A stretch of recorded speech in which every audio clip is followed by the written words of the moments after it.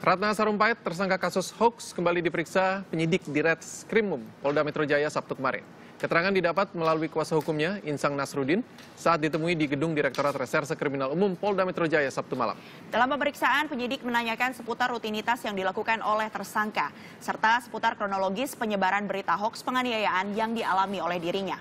Pemeriksaan dilakukan guna melengkapi berkas perkara Ratna Sarumpait terkait kasus hoax penganiayaan yang sempat beredar di media sosial.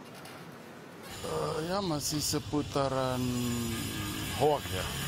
Kemudian ya rutinitas dia. Tentunya mat yang menjadi materi pokok penyidikan nggak bisa saya buka dong. Ya bagaimana masalah penyebarannya, apakah hal itu benar atau enggak, kan seperti itu. Lebih kepada kronologi saja.